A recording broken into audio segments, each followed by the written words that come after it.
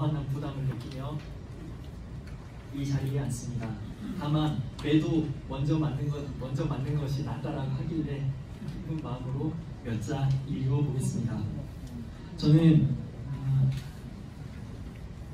지금 현재 우측에 사진이 보이실 텐데 이게 우리 대한민국의 상황이 아닌가 생각해 봅니다. 정치, 경제, 사회, 문화 어느 곳에서든 이 풍란이 대한민국 호를 위협하고 있습니다. 특별히 오늘 안보 분야에서는 더욱 그러하다고 생각합니다. 이에 우리는 어떻게 맞설 것인가 몇자 읽어보겠습니다. 페이지 8쪽입니다. 이 파도는 마치 180석의 거대 야당, 언론 노조에 의해 편향된 언론, 참여연대 등 좌양좌 시민단체의 네트워크의 십자포화를 애국 십자포화를 애국 세력은 막아낼 수 있을까에 대한 의문에서부터 시작했습니다. 안타깝게도 저는 막기 어렵다. 막아내면 좋겠지만 막을 순 어, 막긴 어려울 것이다 라는 게 저의 짧은 어, 생각이었습니다. 이들이 뿌려대는 위장 평화의 씨앗을 털어내고 전교조의 성실함과 문화 권력의 수렴함으로 친북 반미화된 2030 세대의 마음밭에 우리는 자유 통일의 씨앗을 심을 수 있을까 생각해 보았습니다. 먼저 이들의 파도에 대해서 네 단계로 분석해 보았습니다. 첫 번째, 종전선언과 평화협정입니다. 예로부터 전쟁보다 평화를 더 좋아했던 우리네 민족입니다.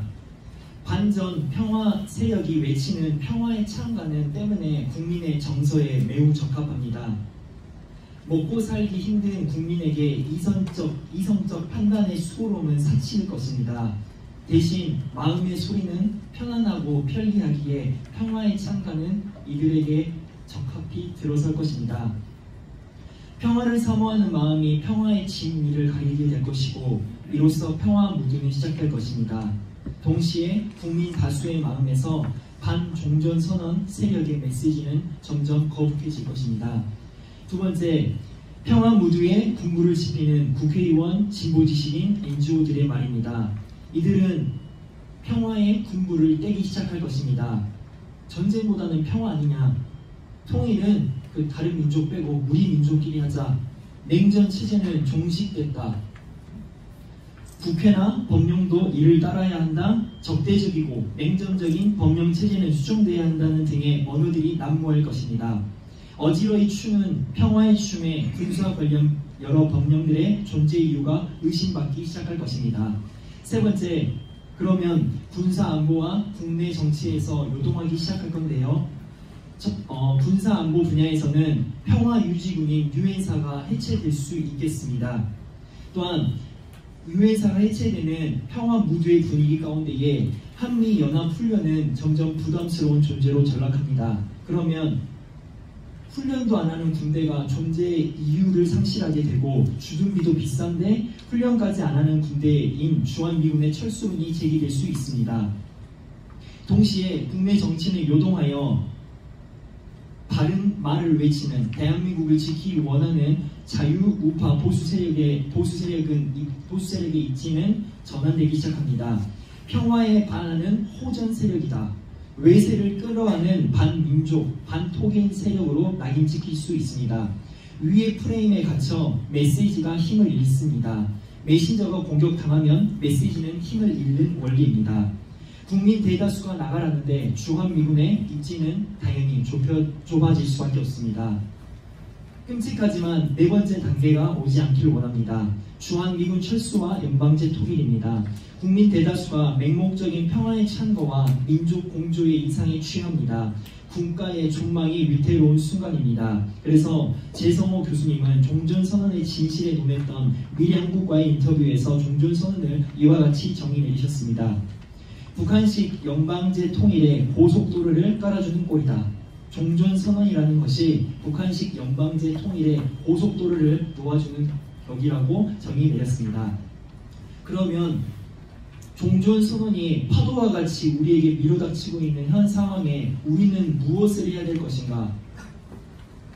바라기는 더 큰 파도를 일으켜서 박정희 대통령께서 이야기해 주셨던 것처럼 자유의 방파제가 아니라 자유의 파도를 일으켰으면 좋겠습니다. 그러나 현실은 녹록치 않아 보입니다. 때문에 저는 짱구를 불려봤습니다.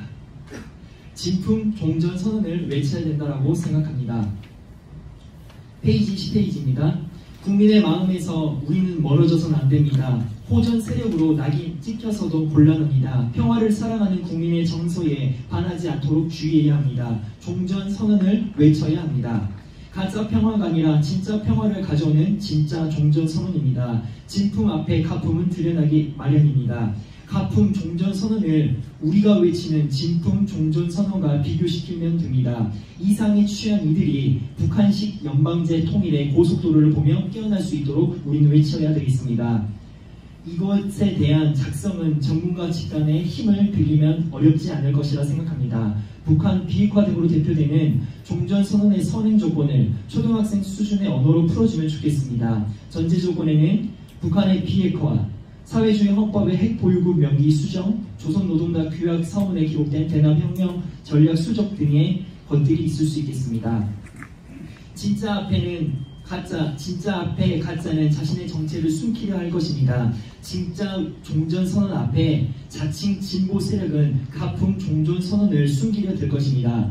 그들은 진품 종전선언 우리의 메시지를 당연히 거부할 것입니다. 그럼 기회가 뒤바뀝니다. 그들은 종전 선언을 거절했으므로 반평화 세력이 되고 동시에 반통일 세력이 됩니다. 자기가 놓은 덫에 자기가 걸리는 격입니다. 이로써 애국 세력은 호전 세력, 반통일 세력이라는 덫에서 벗어날 수 있습니다. 동시에 이는 자유통일의 선제 조건을 알리는 기회가 될 수 있습니다. 다만 이를 잘 정리하고 국민의 귀에 들리도록 부합하는 메시지로 만들어 퍼뜨리는 일이 고민해야 될 과제일 것입니다. 그럼 종전선언의 메시지, 진품 종전선언을 어떻게 제시할 것이냐 어, 최근 많은 이들이 맛집이라는 단어를 심심치 않게 사용합니다. 강의 맛집, 의류 맛집, IT 맛집 언어 사용자는 수업, 옷, IT 기계 등을 먹어버리겠다라는 것인지 갸우뚱해 봤습니다. 언어에는 가치관이 반영되는 이유입니다. 그러나 이들을 설득해야 하는 것이 우리의 임무일 것입니다. 쉽게, 간결하게, 재미있게, 감성적으로 그들의 귓가에 들리도록 우리는 외쳐야 할 것입니다. 페이지 11쪽입니다. food, 물건, 인물, 기타 등 네, 네 분야에서 어, 몇 가지를 적어봤습니다. 첫 번째, 비 오는 날 어, 김밥 천국에 가는 우리 젊은 세대들에게 이러한 메시지가 들리면 참 좋겠다 생각했습니다. 이모에게 김치 볶음밥을 시켰는데 김치가 안 나옵니다.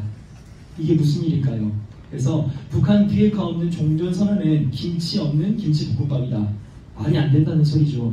두 번째는 어, 스타벅 어, 별다방을 우린 너무 별다방을 젊은 세대들은 정말 자주 갑니다. 매일 아침 출근 도장을 찍는 정도인데요. 그래서 별다방 없는 세상은 이들에게는 어, 디스토피아가 될 수 있겠다라는 생각도 해봅니다. 그래서 북한 비핵화 없는 종전 선언은 별다방 없는 세상이다. 저주스럽다는 거죠. 세 번째는 치킨. 어, 요즘에는 1인 1치킨을 젊은 사람들은 철학으로 받아들입니다. 치킨을 나나 너나 다 따로따로 먹는다는 거죠. 그래서 치킨을 시켰는데 닭다리가 없다. 북한 비핵화 없는 종전 선언은 닭다리 한 개밖에 안 온 치킨일 수 있겠습니다. 또 어, 양념치킨을 좋아하는 분에게는 어, 동일하게 북한 비핵화 없는 종전 선언은 양념 없는 양념치킨 이 될 수 있겠고요. 두 번째는 어, 물건을 살펴보겠습니다. 일전에 카페 알바를 한 적이 있었었는데 와이파이 패스워드에 집착하는 손님들을 보면 대부분 데이터가 없는 학생들이었습니다. 그들을 대상으로는 이러한 메시지를 우리가 외칠 수 있겠습니다. 북한 비핵화 없는 종전 선언은 데이터 다 쓴 스마트폰이다. 그리고 어, 중고차 판매가 전기 자동차는 어렵다라고 이야기합니다. 배터리 문제가 있을 수 있는데요. 그래서 전기차는 시기상조라고 생각하는 이들에게는 우리가 그대의 귓가에 들리도록 북한 비핵화 없는 종전선언은 전기 배터리 방전된 전기차다. 또 이렇게 얘기할 수 있겠습니다. 세 번째는 인물입니다. 임진왜란의 이순신 장군이 없었다라고 하면 우리는 승리하지 못했을 것이라는 건 당연합니다. 6.25 전쟁의 백장군인과 마찬가지입니다. 그래서 북한 비핵화 없는 종전선언은 이순신 없는 임진왜란이다. 그리고 아래는 동일하게 그러한 종전선언은 세종대왕 없는 한글 창제다. 그리고 어, 뭐 크리스천 대상으로는 성, 예수님 없는 성경이다. 아이, 스티븐 잡스가 없는 아이폰이다. 이렇게 이야기할 수 있겠습니다. 어, 네, 그리고 기타에서는 두 번째에 우리가 우리가 외치는 종전 선언, 우리가 진짜 종전 선언을 알려줄게라고 이야기하면서 북한 비핵화와 대남 혁명 전략을 어, 가- 명확한 단어로 간략하게 이야기할 수 있겠습니다. 네, 저는 저에게 20분이 주어졌는데 제가 감사하게 10분 37초 만에 이야기를 많이 하겠습니다. 감사합니다.